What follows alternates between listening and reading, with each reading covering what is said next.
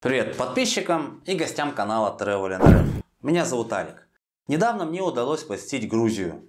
И сегодня в рамках данного видео вы со мной прогуляетесь по старому Тбилиси. Увидите много интересного и узнаете, сколько стоит проживание в этом замечательном городе весной 2023 года. Не забудьте, пожалуйста, подписаться на мой канал и приятного вам просмотра. Начну свой обзор с серных бань, или как их тут называют, Абаноту-Бани, расположенных в историческом районе старого города, у подножья горы Тацминда. Бани появились чуть ли не в первом веке нашей эры на серных источниках, которые до сих пор не утратили своей целительной силы. Римляне в IV веке называли это место Дбилада, от слова «дбили» – теплый. Отсюда и название города – Тбилиси. Город со временем рос, площадь бань также увеличивалась, образовав в итоге целый квартал. Самая древняя из сохранившихся датирована 17 веком.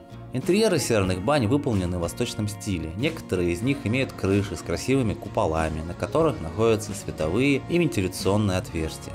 Выбор туристов, как правило, падает на самую красивую и известную баню. Она называется пестрая или голубая. Хорошей рекламой для нее служит тот факт, что ее посещали классики литературы, и не только российской. Например, Александр Дюма отец, путешествовавший по Кавказу в 1858 году, побывал здесь. Заезжал и Александр Пушкин, направляясь в Арзрум в 1829 году. Наше время желающих посетить данную баню хоть отбавляй, поэтому лучше всего заранее зарезервировать парную онлайн или по телефону с официального сайта. Стоимость услуг сейчас появится на экране. К сведению, в апреле стоимость одного лари составляла 30 рублей.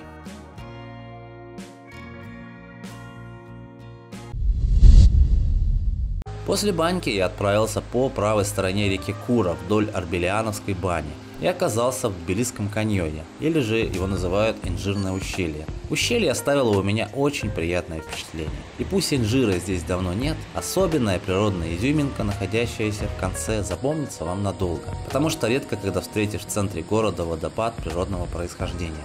Само ущелье облагорожено, имеются скамеечки, мостики, фонари, кафе и беседки. С двух сторон реки находятся пешеходные дорожки. Над ущельем нависают дома с яркими балкончиками и винтовыми лестницами, ведущими в каньон. Протяженность ущелья около 300 метров. Теперь давайте по канатной дороге из парка реке с другого берега Куры поднимемся к крепости Нарикала.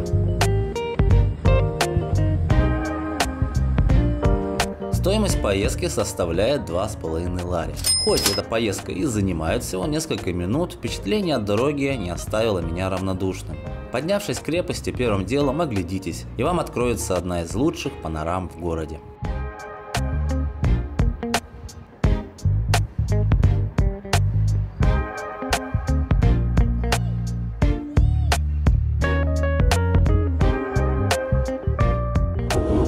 Наверху меня ждал красивый монумент – мать Грузии, который представляет из себя 20-метровую статую женщины, держащую в одной руке меч, которым она встречает врагов, а в другой руке она держит чашу с вином, которым угощает друзей.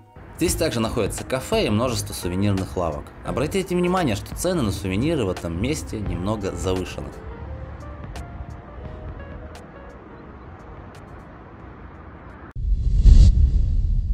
Спускаюсь вниз. Кстати, можно это сделать пешком. Маршрут не такой уж и сложный, особенно на спуск.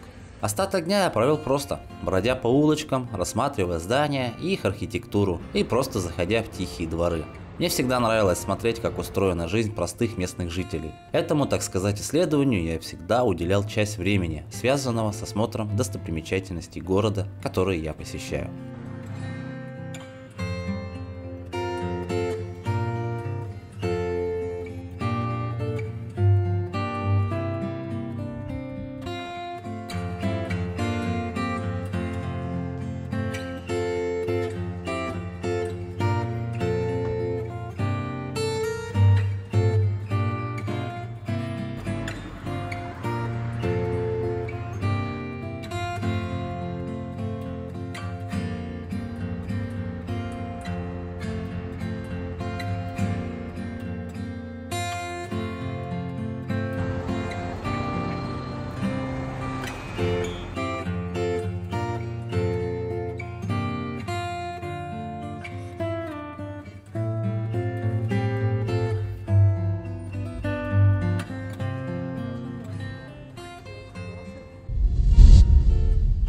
А сейчас давайте узнаем цены на проживание в Тбилиси на апрель 2023 года. Очень удобно, что в Тбилиси можно пользоваться моим любимым и привычным букингом. Так вот, цены вполне, как оказалось, демократические. Начинаются они от 600 рублей, а затем плавно растут вверх. Предложений очень много, и показывать их все не вижу смысла. Покажу лишь самый дорогой вариант. Это отель Тбилиси за 4493 рубля. Конечно, есть еще и более дорогие отели класса 4 и 5 звезд. Вот такой он старый город. Рекомендую вам ознакомиться с его достопримечательностями сразу по прилету в Грузию. Уважаемые зрители, спасибо, что досмотрели видео до конца. Если вы не подписаны на канал, то подписывайтесь, поставьте лайк и включите колокольчик, чтобы не пропустить следующие видео на моем канале. Также можете глянуть видео об Адыгее или Ставропольском крае. Всем удачи и пока!